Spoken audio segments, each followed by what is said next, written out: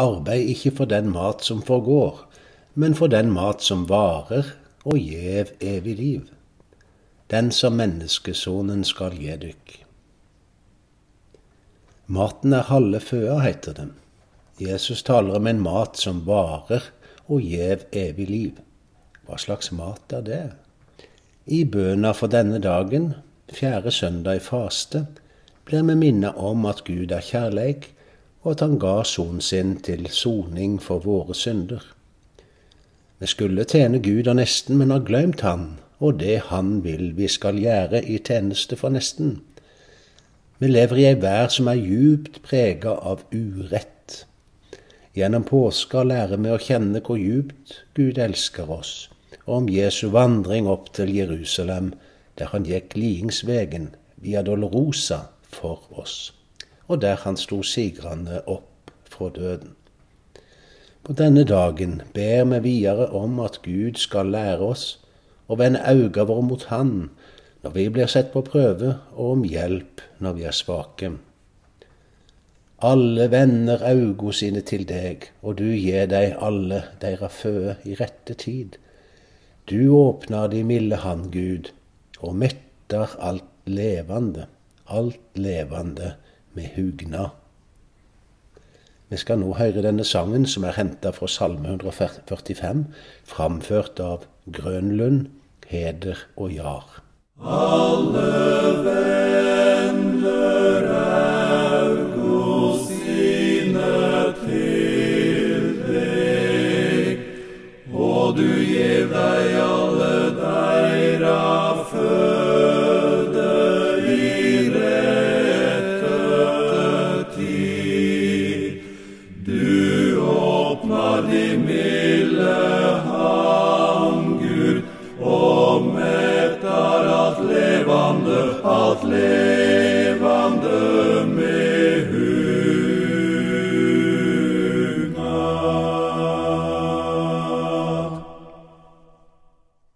Tekster for dagen på denne fjerde søndag i faste leser vi fra Johannes evangeliet det sjette kapittel. Da folket så at korkje Jesus eller læresveinene hans var der, gikk de i båtene og for over til Kapernaum og leita etter Jesus. De fant han der på den andre sida av sjøen og sa til han, Rabbi, når kom du hit? Jesus svarer, Sannelig, sannelig, jeg sier dykk, det leiter ikke etter meg fordi det så teiken, men fordi det åt av brød og vart mette. Arbeid ikke for den mat som forgår, men for den mat som varer og gjev evig liv, den som menneskesonen skal gje dykk. For på Han har Far, Gud sjøl, sett sitt segl. Da sa de til han, Hva gjerninger er det da Gud vil vi skal gjøre? Jesus svarer, Dette er den gjerning Gud vil det skal gjøre.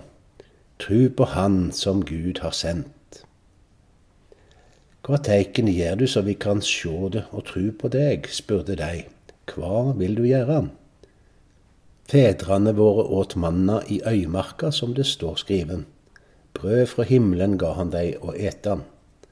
Jesus svarer, Sannelig, sannelig, jeg sier dykk, Moses ga dykk ikke brød fra himmelen. Det er far min som gir dykk det sanne brødet fra himmelen. Guds brød er det brødet som kjem ned fra himmelen og gir vær liv. Da sa de, Herre, gi oss alltid det brødet. Jesus svarer, Jeg er livsens brød. Den som kjem til meg, skal ikke hungre, og den som trur på meg, skal aldri tørste. Men jeg har sagt dykk, enda de har sett meg, trur det ikke. Johannes evangeliet kapittel 6, vers 24-36.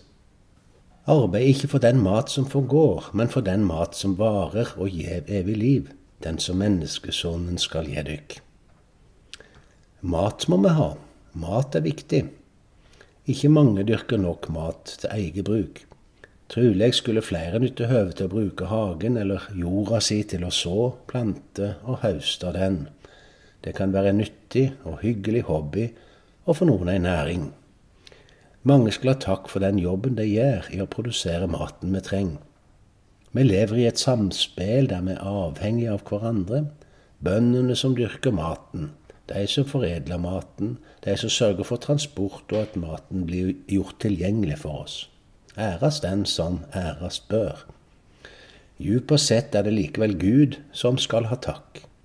Vi ber Han om daglig brød, vi synger bordvers med takk og bønn om at Han må signe maten. Når Jesus ga mat til folk i Aumarka, tenkte de han var leieren som skulle hjelpe dem mot den romerske okkupasjonsmakta. Jesus hadde ei større oppgave enn dette. Han kom for å gjøre opp for synda. Han kom for å forsone verden med Gud. Den verden vi lever i, er preget av forfall og urett. Vi hører om krig, svolt og nau. Vi opplever dyrtid. Varer og tjenester blir dyrere. Vi blir satt på prøve, og vi kjenner oss usikre og, og redde for framtida. Hvordan blir det framover? Hvordan blir det for barn og unge å vokse opp? Maten der taler vi tekster for dagen, er en mat som varer, og som gir evig liv. Jesus er livsens brød. Den gjerning vi skal gjøre, er å tro på Han. Vi lærer å kjenne Jesus i Guds ord, i Bibelen. Vi lærer å kjenne Gud når vi ber til Han i Jesu navn, når vi vender øynene og hjertet vårt til Han. Kjærleiks Gud, du ga sonen din til soning for syndene våre. Vi ber deg, Vend øynene våre mot Jesus når vi blir sette på prøve, og hjelp oss når vi er svake. La oss sammen be den bønna Jesus lærte oss. Vår Far i himmelen, la navnet ditt helgas. La riket ditt komme. La viljen din råde på jorda slik som i himmelen. Gjev oss i dag vårt daglige brød, og tilgi oss vår skyld, slik vi òg tilgir våre skyldnere og la oss ikke komme i freisting, men frels oss fra det vonde. For riket er ditt, og makta og æra i all eve. Amen. Ta imot velsigninga. Herren velsigne deg og vare deg. Herren late sitt andlet lyse over deg og være deg nådig. Herren løfte sitt åsyn på deg og gjeve deg fred. Vi skal nå høre Sondre Bratland synge 'Han tek ikke glansen av livet'.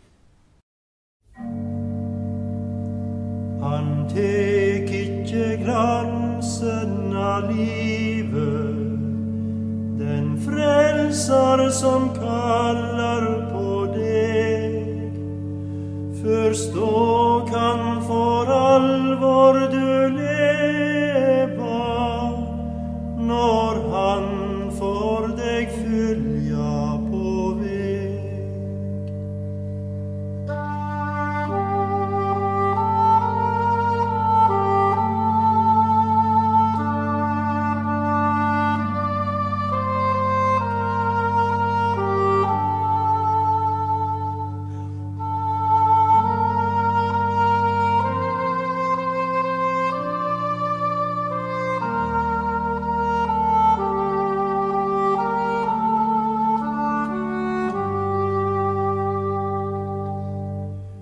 Du høyrer dei dårande røyster som lovar deg gull, glim og glans.